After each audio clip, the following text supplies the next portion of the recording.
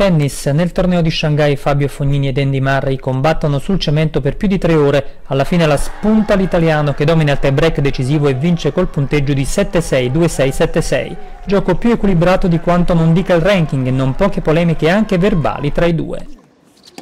L'elvetico Roger Federer invece si sbarazza del catalano Ramos Bignolas col punteggio di 6-2-7-6, vendicando la sconfitta patita quattro anni fa.